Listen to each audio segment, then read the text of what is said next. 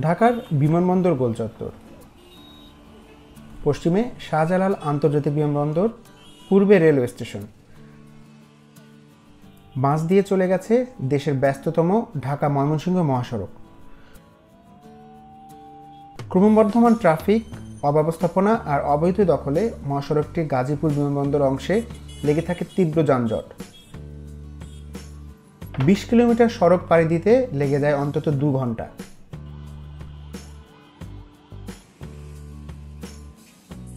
যানজট থেকে সড়ক ব্যবহারকারীদের মুক্তি দিতে বিমানবন্দর গাজীপুর মহাসড়কে বাসের জন্য বিশেষায়িত লেন তৈরি করছে সরকার।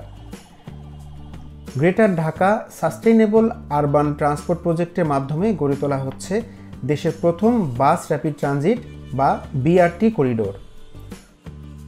করিডোরে বাসের লেন হবে দুটি, একটি দিয়ে বাস আসবে, অন্যটি দিয়ে যাবে। বাস চলাচল যেন কোথাও বাধা না পায় সেজন্য প্রকল্পটির মাধ্যমে নির্মাণ করা হচ্ছে ছয়টি ফ্লাইওভার। এর বাইরে সাড়ে চার কিলোমিটার বিআরটিএ লেন যাবে উড়াল পথে বিআরটি লেনে চলবে সরকারি কোম্পানির বাস। এজন্য Dhaka bus rapid transit limited নামে একটি কোম্পানিও এরই মধ্যে গঠন করা হয়েছে। লেনটি চালু হলে প্রাথমিকভাবে নামানো হবে পঞ্চাশটি বাস। পঁচিশটি স্টেশনে যাত্রীরা উঠতে নামতে পারবেন। কর্তৃপক্ষের আশা করিডোরটি দিয়ে প্রতিদিন কমপক্ষে চার লাখ যাত্রী যাতায়াত করতে পারবেন।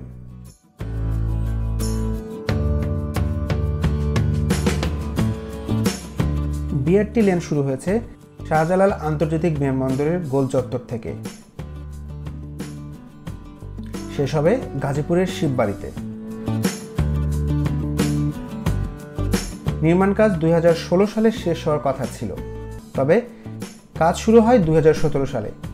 এরপর থেকে ঢিমেতালে চলছে নির্মাণ কাজ। রাস্তার ওপর ফেলে রাখা নির্মাণ সামগ্রী সংকুচিত হয়ে যাওয়া রাস্তা আর নির্মাণ যজ্ঞে শুরু থেকেই ভুগছেন গাজীপুর বিমানবন্দরের মহাসড়ক ব্যবহারকারীরা। আগে থেকে তীব্র যানজট ছিল। বিএডটি নির্মাণ কাজ, এ অঞ্চলের মানুষদের দুর্ভোগ বাড়িয়েছে কয়েক গুণ।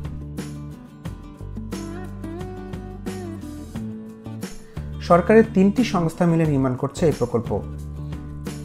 অ্যাডগ্রেড বা মাটির সমান্তরালে বিআরটিএ লেন নির্মাণ করছে সড়ক ও জনপথ অধিদপ্তর। ফ্লাইওভার, টঙ্গী সেতু আর উড়াল লেন নির্মাণ করছে বাংলাদেশ সেতু কর্তৃপক্ষ। ড্রেনেজ ব্যবস্থার উন্নয়ন আর বাসের ডিপো নির্মাণ করছে স্থানীয় সরকার প্রকৌশল অধিদপ্তর। দুই দফা বাড়িয়ে প্রকল্পটির বাস্তবায়নের মেয়াদ করা হয়েছে দুই হাজার বাইশ সালের জুনে। তবে এখনও নির্মাণ কাজের অগ্রগতি পঞ্চাশ শতাংশের কম। ফলে মেয়াদ আরও বৃদ্ধির সংখ্যা রয়েছে।